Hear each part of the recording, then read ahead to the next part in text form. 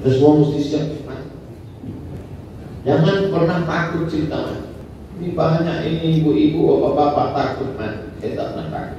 Orang yang cuma ceramah tidak mengamalkan, itu namanya ustaz calo.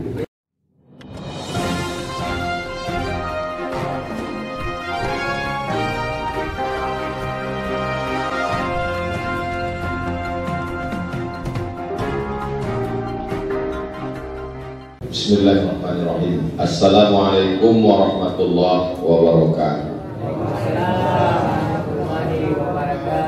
Alhamdulillah wassalatu wassalamu ala Rasulillah Sayyidina wa maulana Muhammad ibni Abdullah wa ala alihi wa sahbihi wa man tabi'ahu wa mawala. Saya sudah tahu kenapa hati saya tak tenang. Hati bukan punya kita. Walaupun ada dalam diri kita. Tanah punya kita walaupun di luar diri kita. Dari mana kita tahu tanah itu punya kita? Tengok aja surat SKM. Cek aja ke BPN. Jadi luar mobil punya kita, walaupun di luar diri kita. Dari mana kita tahu? STNK BPKB nama kita. Tapi hati bukan punya kita. Punya siapa? Punya Allah.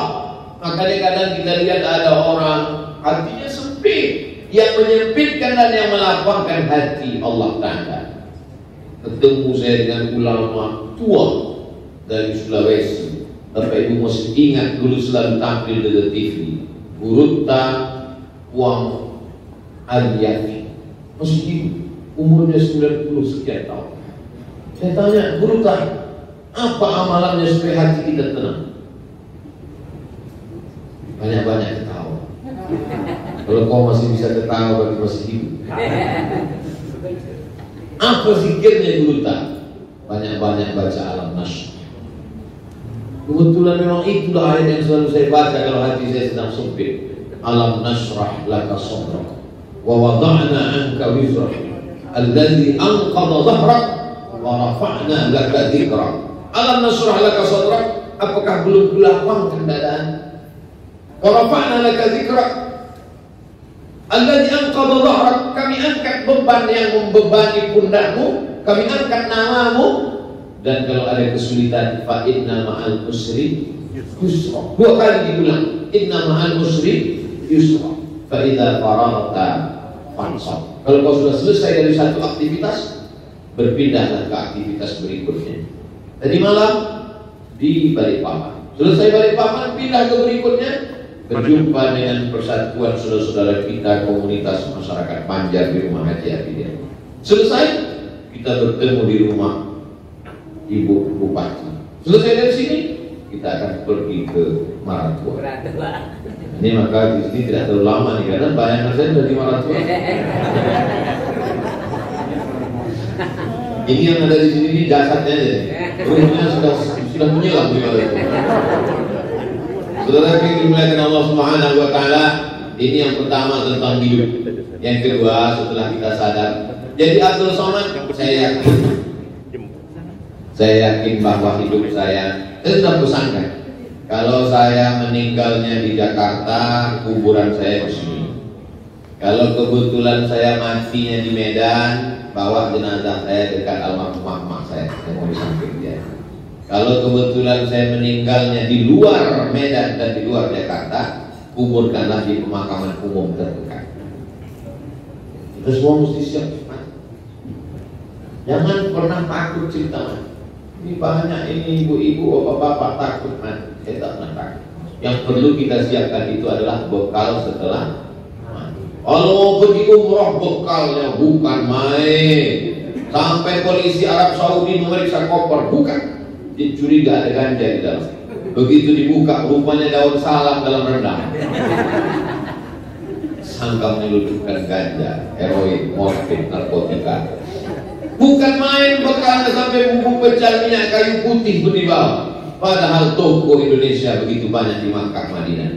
Tapi ketika ditanya apa bekalmu mati, ya terserah yang di atas Hidup ini adalah bekal yang akan dibawa mandi. Abdul Somad kalau sholat pahalanya cuma diri saya saja. Makmum saya itu sih. Tapi ada orang yang sekali beribadah amalnya 200 ribu Oh itu kan sholat di Masjidil Haram Pak Ustaz nah, Di Masjid Nabawi Pak Ustaz Tidak Sekali dia beribadah dapat pahala 200 ribu kali lipat Siapa itu? ASN Berapa? Iya iya iya. Yang tepuk tangan dulu Ya ya. Karena kalau dia buat dosa Segitu juga Jadi kalau mau dapat pahala berlimpah Maka jadilah PNS Kenapa? Karena dia mengurus orang banyak Kalau dia mudahkan urusan orang satu kabupaten Dimudahkan pula urusannya di padang maksud Tapi kalau dia persulit Maka sakratul mautnya bisa 6 bulan itu Bisa dibuka atap bermati Saudara yang dimuliakan Allah Subhanahu wa taala. Jadi jangan kita sangka yang namanya ibadah itu sholat, puasa, zikir, sholawat, baca Quran. Ada ibadah yang luar biasa. Apa dia? Masuk kantor dari jam 8 sampai jam 4 sore ibadah.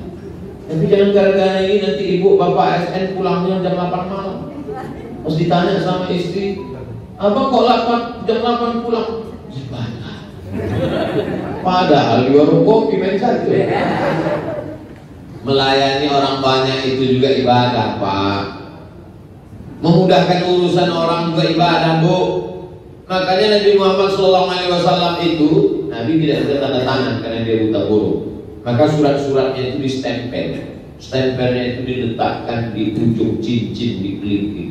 Tulisannya Muhammad Rasulullah. Surat Nabi sampai ada hari ini sampai ada di musim. Surat dia untuk Heraklius, surat dia untuk Mukaukis, surat dia untuk Kisra masih disimpan. Tertulis di situ Muhammad Rasulullah. Nah itu tidak sulit. Asal ada surat dia stempel. Maka ibu-ibu kepala dinas buatlah stempel itu. Kalau bisa orang di dengan kamera. Tapi baca dulu. Nanti ditangkap KPK. Kalau bisa dipermudah kenapa dipersulit? Betul. Alhamdulillah segala urusan usaha Somad di Berau ini mudah. Saya mau menunjukkan kepada kita semua bahwa yang namanya ibadah itu bukan cuma sholat, bayar zakat, puasa sunat, berzikir, baca Quran, sholawat. Itu semua orang tahu ibadah. Alhamdulillah Pak Ustaz, Bapak Wali Kota kami rajin sholat duha, Gubernur kami rajin baca Quran, rajin maulid, rajin yasinan. Itu bukan amal pejabat, itu amal anak SD. Anak SD pun pandai baca yasin. Di tempat saya anak SD pun hafal juz amma juz 30. Tapi ada satu amal yang hanya bisa dilakukan oleh orang yang punya jabatan. Apa itu? Membangun masjid di setiap kecamatan membangun Islamic Center, membangun sekolah tahfiz Quran, mengirim mahasiswa ke Al-Azhar Kairo. Salam soman, Alhamdulillah mahasiswa kita tahun ini yang kita kirim ke Al-Azhar Kairo nanti pulang akan membangun kabupaten berapa orang Pak? Lima orang. Mantap. Mendengar berita itu sakit hati saya. Kenapa? Saya dulu nggak dikasih beasiswa membalaskan sakit hati saya karena saya dulu kuliah di Mesir tidak diantar pulang tidak dijemput macam belangku tiba-tiba adik-adik saya diantar ke airport dilepas dipakaikan jas pulangnya disambut dibangunkan pesantren. Sakit hati saya di dalam. Maka di setiap kabupaten saya ceramah. Kalau ada bupati wali kota gubernur saya ceramahkan itu supaya adik-adik saya tidak mengalami susah seperti saya. Kira-kira sakit hati seperti ini bagus atau tak bagus? Ini namanya sakit hati syariah. Saudara yang dimuliakan Allah Subhanahu wa taala, maka apa selama kita punya jabatan itu yang kita buatnya kita lakukan. Alhamdulillah. Selama saya punya jadi kepala dinas, alhamdulillah Pak Ustaz pos-posan sudah 100 pintu. Tinggal Selama saya punya jabatan ini Alhamdulillah mobil sudah tiga Tinggal Tapi kalau sempat buat rumah tahfiz Quran Malam-malam anak baca yasin Dari maghrib ke isya anak-anak baca alim bata sore-sore Jumat emak-emak baca Yasin, itulah yang melapangkan kubur, menjauhkan pandangan sejauh mata memandang, sudah masuk surga sebelum hari kiamat. Kenapa? Karena kuburnya salah satu dari taman-taman surga. Ini jangan-jangan Ustaz ini cuma ceramah aja. Orang yang cuma ceramah tidak mengamalkan, itu namanya Ustaz Calu. Calu. Balik papan, balik papan, balik papan, balik papan, balik papan. Bapak udah pernah ke Balikpapan? Belum. Calu. Maka saya mengamalkan itu. Sejak almarhumah emak saya meninggal sampai hari ini sudah dua tahun. Maret 2021, Maret 2019 saya buatlah program bagi-bagi sembako dan rehab rumah. Saya posting asal muasalnya duit saya pribadi sendiri. Jamaah yang mau kontribusi silakan saya katakan. Untuk apa? Pertama untuk menghilangkan sakit hati di dalam. Yang kedua adalah supaya amal ini tetap mengalir. Yang ketiga supaya kalau saya pas ceramah saya yakin.